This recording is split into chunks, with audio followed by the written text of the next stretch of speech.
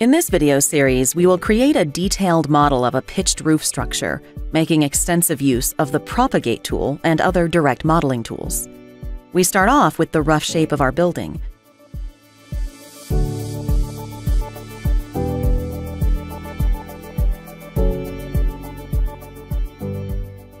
Materials have already been applied to the different building elements. We'll turn on Display Composition to be able to push-pull the different composition plies.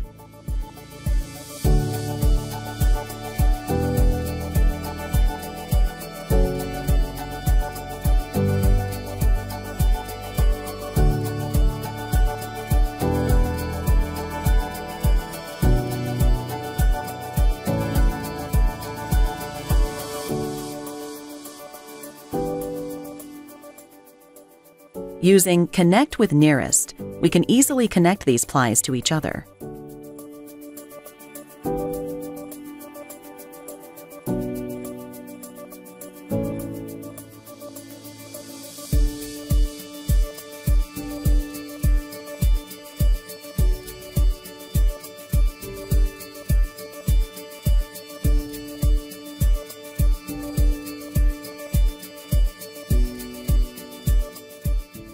We will create a detail locally and then later propagate this detail over the entire perimeter of our roof.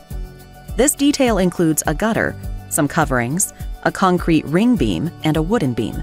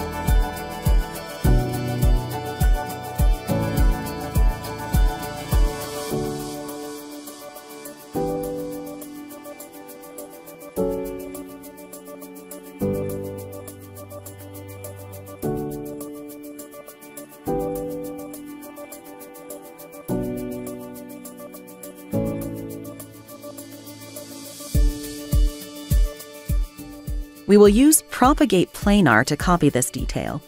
However, to make sure Propagate knows which detail to copy exactly, we will need to activate a section that cuts through all involved detail objects.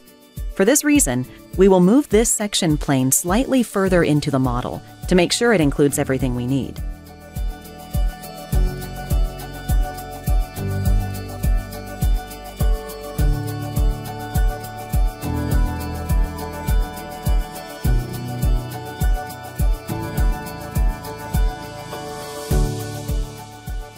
We're prompted to select the base solids. These are the solids that define the situation where this particular detail should be applied. In this case, it's the floor slab, the roof slab, and the wall.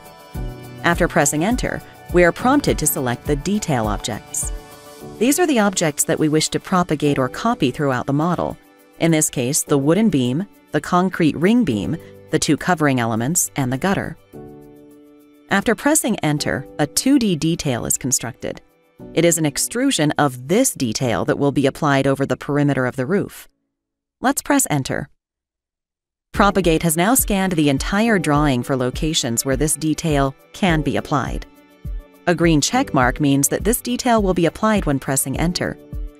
The blue question mark means that the detail will not be applied. In this case, because the original detail was only modeled locally.